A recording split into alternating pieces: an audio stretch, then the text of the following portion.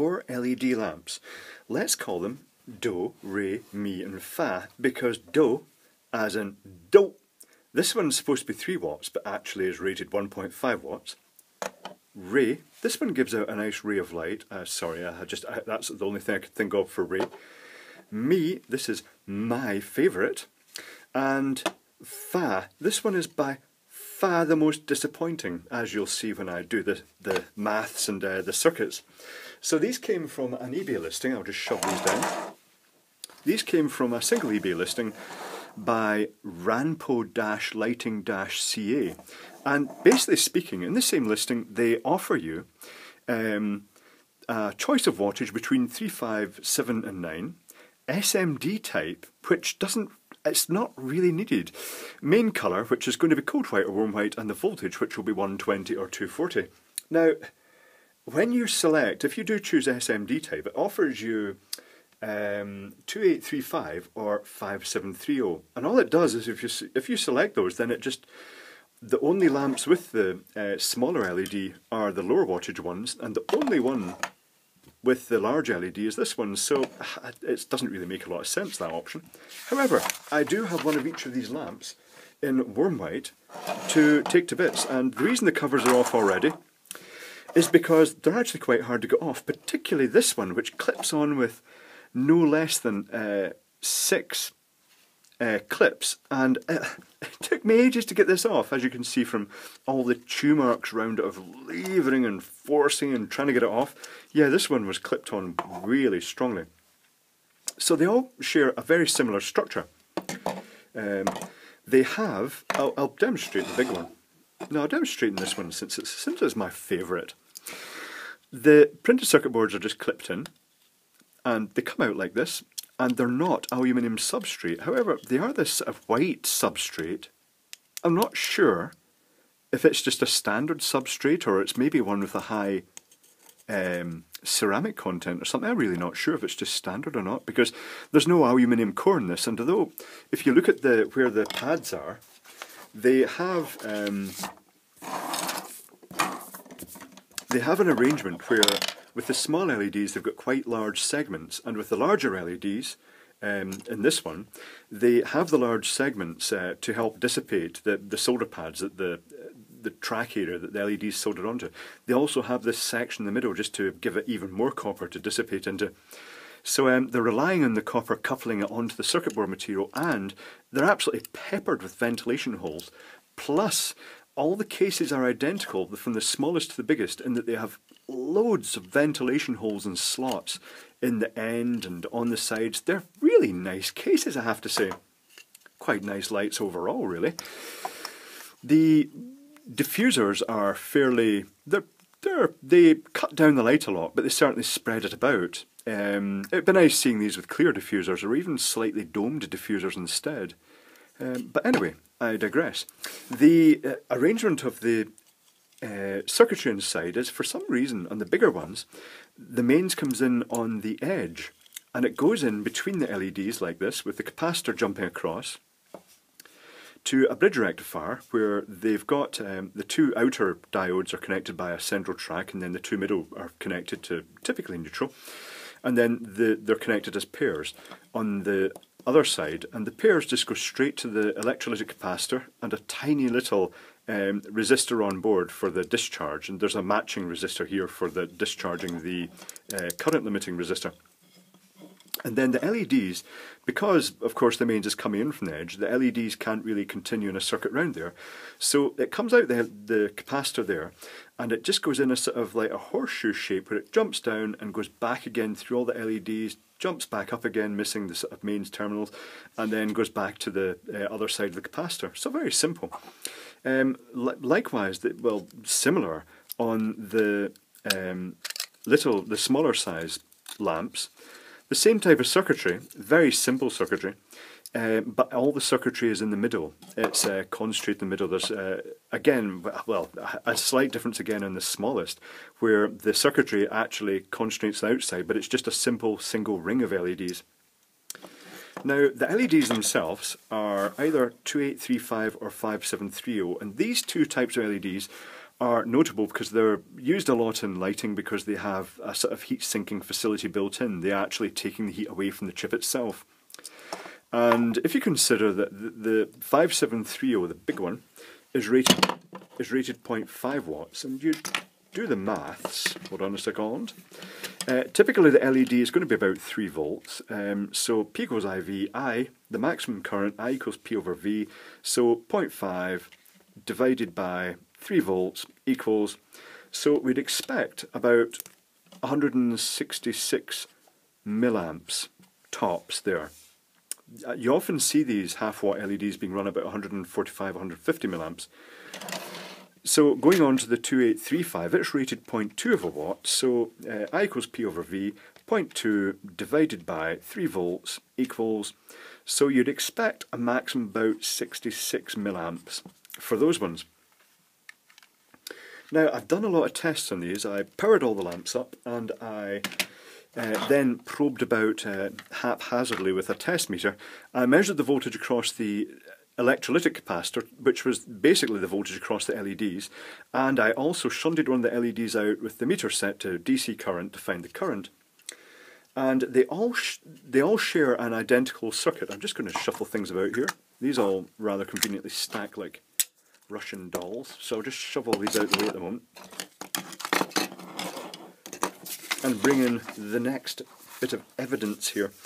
They all share a, a common circuit. They have the in the series capacitor, this one, with a discharge resistor across it, this tiny little surface mount resistor. Can you see it? It's really tiny. And it's 470k.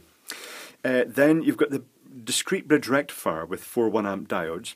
You've got the capacitor in the output, which is uh, variable according to uh, the actual lamp, and then another tiny little 470k resistor just tucked across that one as well. Then all the LEDs just connected in series across that. Not really much visible flicker while I had these on, which was interesting because normally when you've got the LEDs connected directly across without any resistor in series, you do get a slight sort of riding of the, the mains uh, waveform, but it, it wasn't really notable. The values of the capacitors varied according to the lamp. The 3 watt lamp had an 820 nanofarad capacitor. The 5 watt had a 1 microfarad capacitor, which is one of the highest I've seen so far. Then it went further. 7 watt had a 1.2 microfarad, and then the 9 watt has a whopping 2.2 microfarad capacitor, which is starting to get a wee bit squirmy for this sort of application. It's huge. The electrolytics are not rated for open circuit. Uh, if, the, if the LEDs fail open circuit, the voltage across capacitor will rise well above its rating. It'll probably pop. So in the 3 watt it's a 47 megafarad 50 volt, 5 watt it's 47 megafarad 100 volt, um, the 7 watt 10 megafarad 250 volt, and finally 10 megafarad 250 volt again in the uh, 9 watt lamp number of LEDs. Uh, 10, 18, 27 and 20 respectively for the 3, 5, 7 and 9 watt. I measured uh, the voltage across the LEDs. You could have just multiplied it by 3, but you know, I wanted it accurate. So here the voltage across the LEDs. You can just freeze frame in this if you want to actually take a note at these, uh, you know, you want to actually take a more detailed look at these.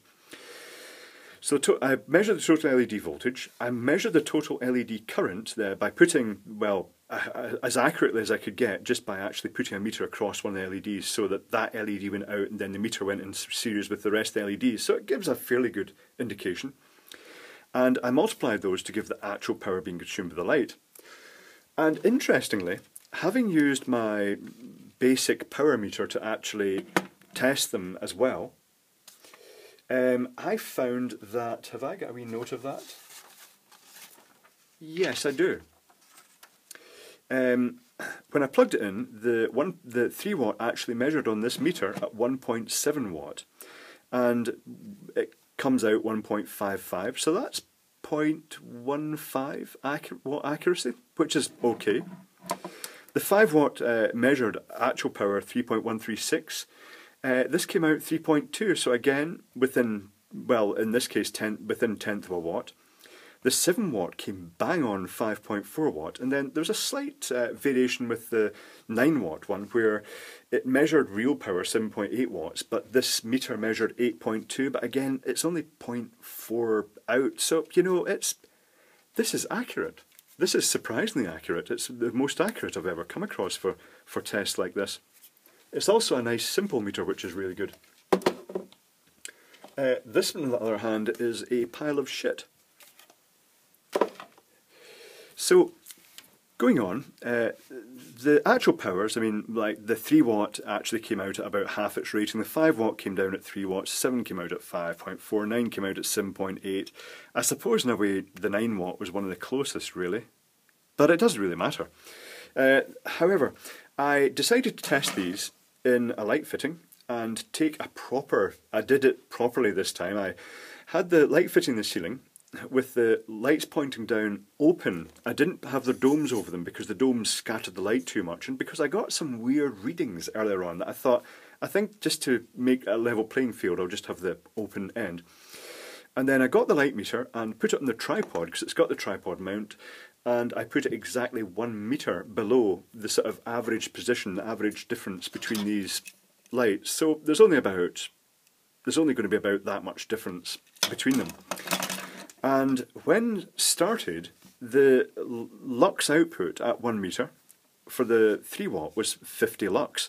And I noticed that if you left them running for a while, that the intensity dropped as the LEDs heated up.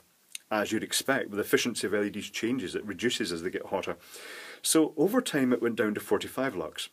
The 5 watt started off at 97 lux and went down to 89 lux, which these equate to about a 10% drop for each of those. The 7 watts started at 162 lux, and went down to 144, and then keep in mind that this is supposed to be the higher power one.